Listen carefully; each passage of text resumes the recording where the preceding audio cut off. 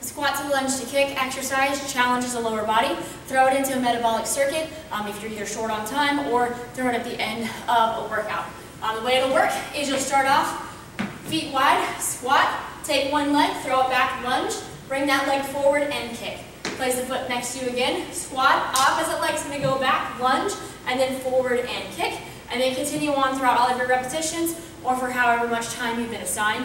If you have any knee issues and can't reverse lunge, instead try to squat, maybe step forward and then bring the back foot forward. Then just make sure you keep up with what the leg is doing what. Squat again, leg forward, and then kicking forward.